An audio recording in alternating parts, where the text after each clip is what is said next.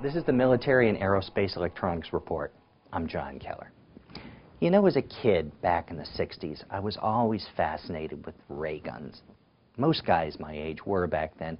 It came, I think, from a potent mix of those 1950s science fiction movies and America's race to the moon, which was in a frenzied pace at the time. I grew up on Captain Kirk's phasers, the laser rifles from Lost in Space, and especially the Space Ghost stun ray. Everybody knew of the close encounters of Marvin the Martian and Duck Dodgers in the 24th and a half century. But I digress. Ray guns were so much fun back then because they were just fantasy. We all knew that, but this might not be true for much longer. The folks at the Army's Tank and Automotive Command outside of Detroit are working quietly on some projects that, who knows, might lead to future generations of tanks and other armored combat vehicles with ray guns. We call them directed energy weapons now, as their main or at least ancillary armament. Now recently, as I wandered through the government solicitations, I've stumbled on some interesting things. Just this morning, in fact, I read that Army TACOM is in talks with the U.S. Combat Systems Operation of BAE Systems in Minneapolis to integrate four Puma 11s, Puma spelled with two P's, into a pulse power system.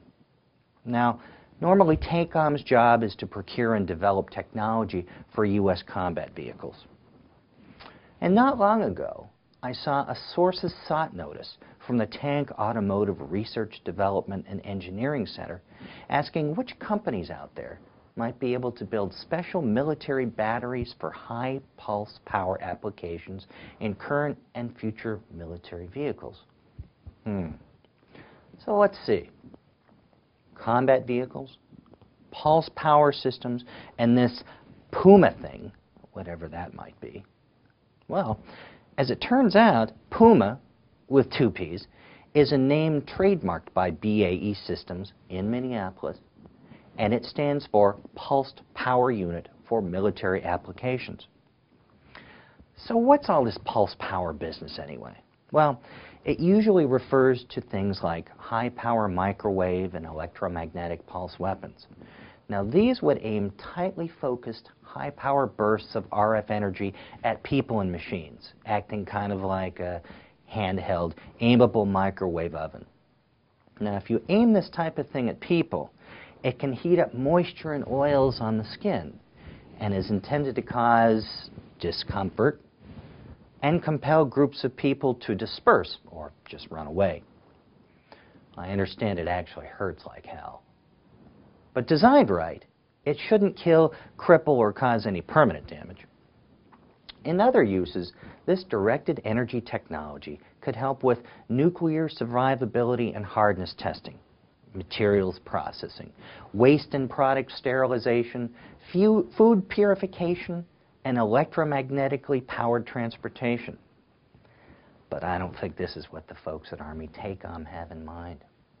Some of these pulse power weapons could generate a very short, intense energy pulse to cause a transient electrical surge of thousands of volts, way more than enough to fry semiconductor devices and bring down any modern electronic system within the effective range of the weapon.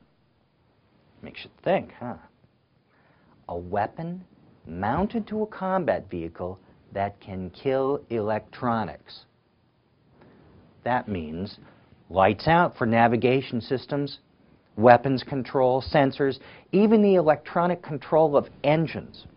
So without the proper shielding, communication systems would stop, radar systems would go dark, aircraft and helicopters would have to land awfully quick when their engines stopped, and vehicles of all kinds would come to a screeching halt. Sounds interesting to me. Maybe ray guns aren't just for fun anymore. For the Military and Aerospace Electronics Report, I'm John Keller.